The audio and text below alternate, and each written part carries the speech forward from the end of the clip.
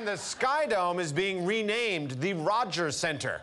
This narrowly edged out the second choice, the Upper Canada Center for Losing.